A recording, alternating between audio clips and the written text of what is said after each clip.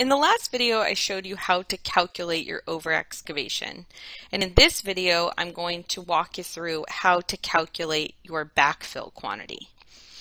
And we're going to add some, uh, a, a recompaction factor onto that backfill.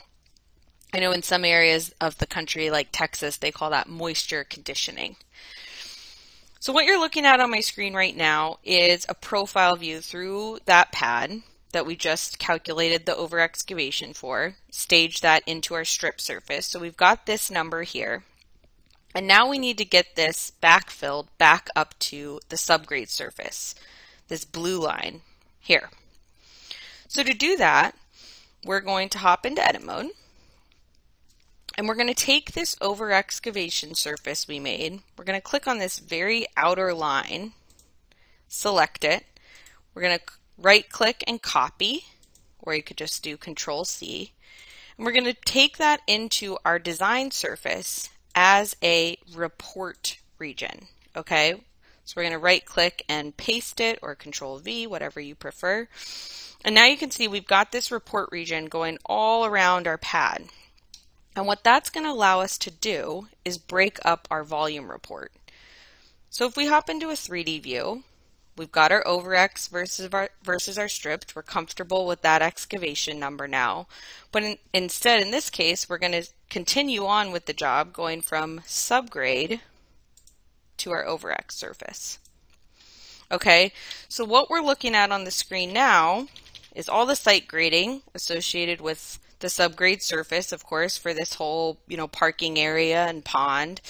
And then all the backfill that needs to come in to this pad um, in order to fill it back up to subgrade.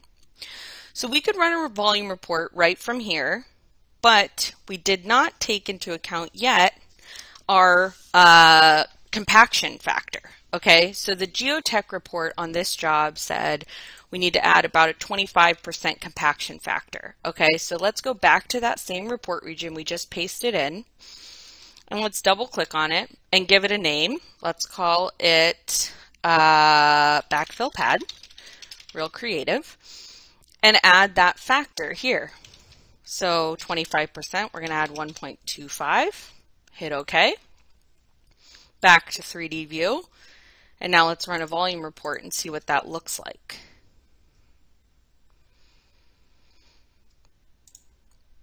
All right, so now we have this job broken up into the backfill section of the pad. So we've got about 2,300 cubic yards of fill we're going to need for that pad. But once we add that 25% compaction, that turns into closer to 2,900 cubic yards of fill that we're going to need to backfill that pad.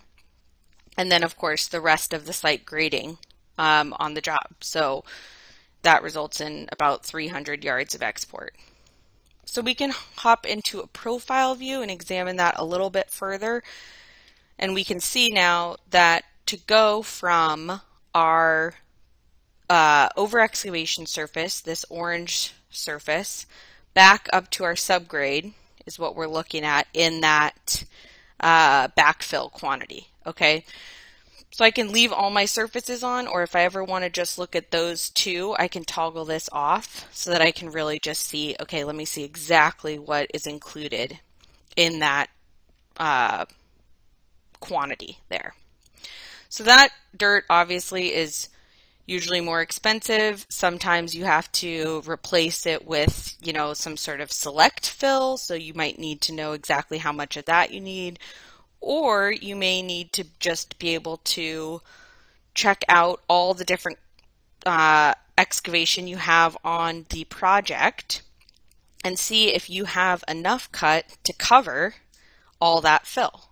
So in the next video, I'm going to walk you through how to look at the volume report to check if you have enough dirt on site to cover a uh, backfill like this. So check out the next video for a quick explanation on the volume reports. Thanks so much.